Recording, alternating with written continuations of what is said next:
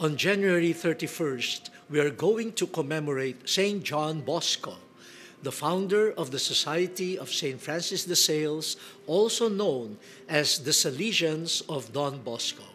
For his outstanding ministry to the young people, Pius XI gave him the title Father and Teacher of Youth during his canonization in 1934. But when did Don Bosco begin his ministry to the youth? December 1841. He was about to celebrate his first Immaculate Conception Mass when he found and befriended Bartholomew Garelli, a poor boy who was screamed at by the sacristan. Soon, Don Bosco and Bartholomew attracted more friends. They would celebrate the Mass, play, and devote time for catechesis and confession every Sunday. Later on, Don Bosco also opened his house to orphans and the homeless.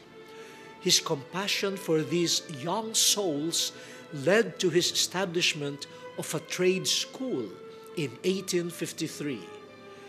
He personally taught them so as to prevent the boys from doing undesirable activities.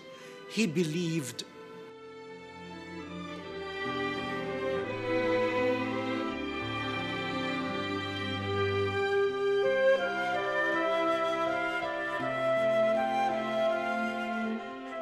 For Don Bosco, charity is finding the good in every child and helping develop it to its full potential which could lead them closer to God. He was right because a number of the boys he admitted in his orphanage and trade school became the pioneer Salesians when he founded the congregation in 1859. Now, what is the secret of Don Bosco? Reflecting on the saint's life, Pope Francis said,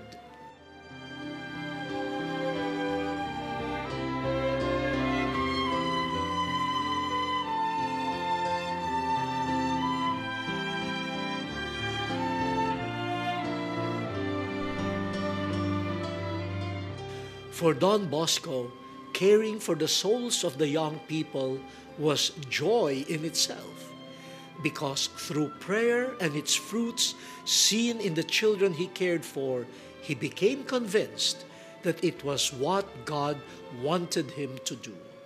He was even quoted saying on his deathbed, Tell my boys I will meet them in heaven.